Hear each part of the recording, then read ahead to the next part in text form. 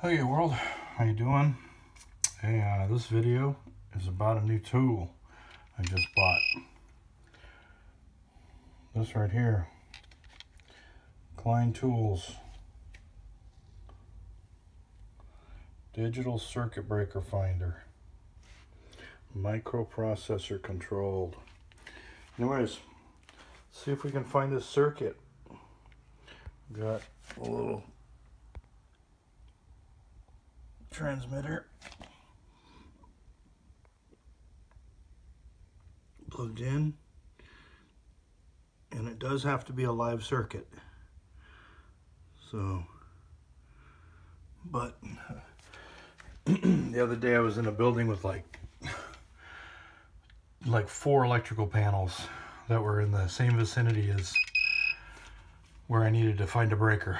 I got lucky but this is my new tool and all you do is just uh, push the button and that's it. And you just go over the panel and have it learn.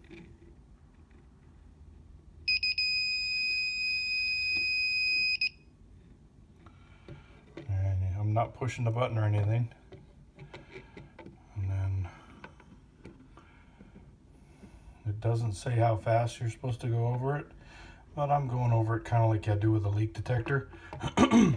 leak detectors are one inch per second, so. So we got, there we go. So, straighten that vicinity.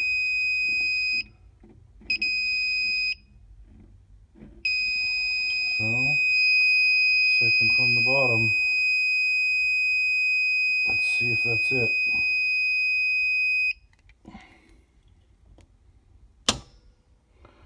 Okay, that's off.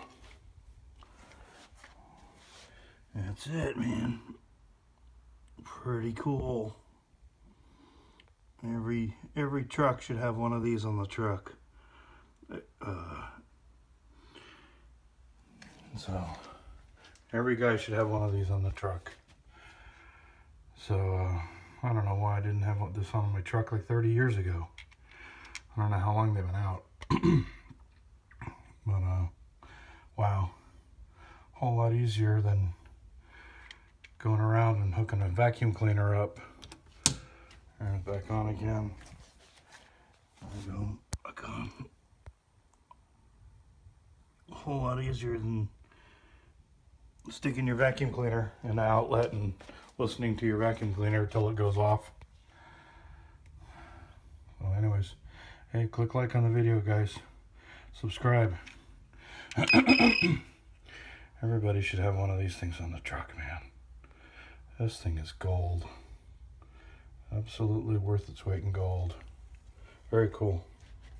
And you just uh, hold the button down, turn it off. That's it. All right, rock and roll. And you could even uh, I'll do my next video. Uh, you could even make up a pigtail. So you can do, uh, just have a couple alligator clips on the end of extension cord and uh, do that. So I'm to have to try that, see how that works. That'll be the next video.